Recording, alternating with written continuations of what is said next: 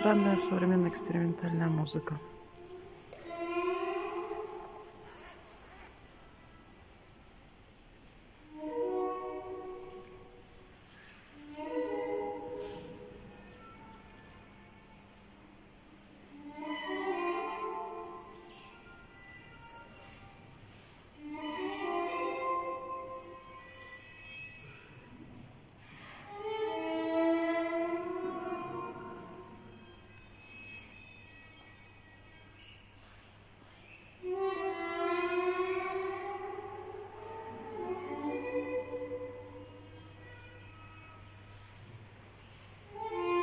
Теперь знаю, кто тут бедокурит.